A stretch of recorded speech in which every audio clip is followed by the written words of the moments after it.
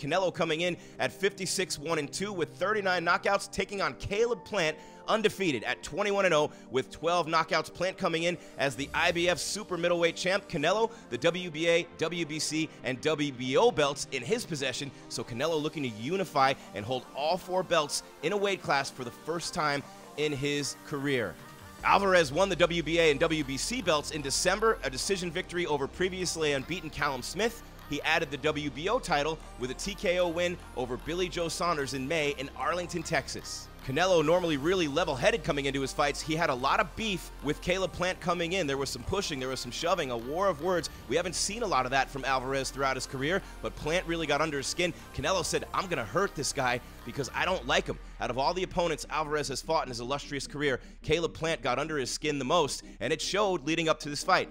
Would it affect the performance of Alvarez in the ring? Highly unlikely. Canelo, obviously a brilliant champion. His focus is almost second to none. Canelo, very pragmatic, very focused as always, didn't throw a punch in the first 90 seconds of the fight. He applied pressure, tried to measure Caleb Plant's timing, get that down, and set himself up for his game plan later on in the fight. Very smart fighter, Canelo Alvarez. As the round wore on in the second half of round one, Canelo hit him a bunch of times in the body, did enough work there to win the first round 10 9. In round two, Caleb Plant started to come on, became far more effective. He used some feints to set Canelo up for the left hand, both with the uppercut and to the body. Alvarez ended the round with a nice three punch combo, but Plant won it 10 9, and we were even after two. And finally, in the 11th round, Canelo Alvarez gets the job done. He said he would hurt Plant coming in, really wanted to finish him. Canelo Alvarez, two knockdowns of Caleb Plant in round 11. The referee stops it after the second one. He never recovered from the first knockdown. Canelo Alvarez with the TKO over the previously unbeaten Caleb Plant. He's now the undisputed super middleweight champion of the world.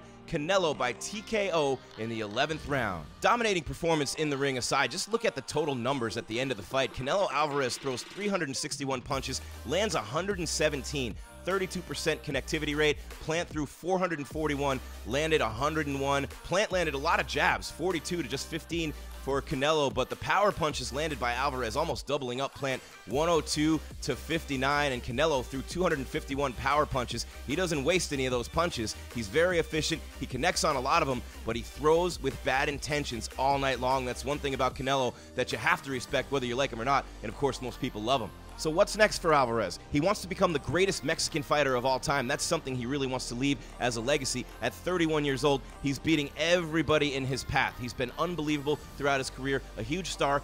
We know he's never going to get the chance to get revenge on Floyd Mayweather and win that fight that he lost. So what is next? More on Canelo and his legacy in a minute, but the fight to make is Triple G Gennady Golovkin. Now, Canelo wants Triple G to leave 160 pounds where they fought the first two times, the draw and the win for Canelo.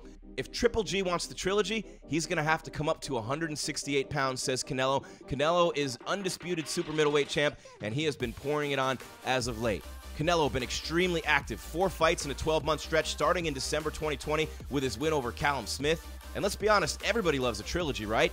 Tyson Fury, Deontay Wilder. Wilder hadn't won either one of those fights. He still got the trilogy. So Triple G would be in the same boat. And with a name like Triple G, Trilogy 3, come on, Triple G, you got to do this. Come up to 168 pounds and fight Canelo. The trilogy makes sense from every aspect. When you think about Triple G and his legacy getting another crack at Canelo, even though he'd have to come up to 168 pounds. For Canelo, a second win in those three fights, remember one was a draw, controversial as it was, that would be another thing to pad his Hall of Fame resume. And think about the money. Think about the money. A lot of people thought Golovkin won the draw.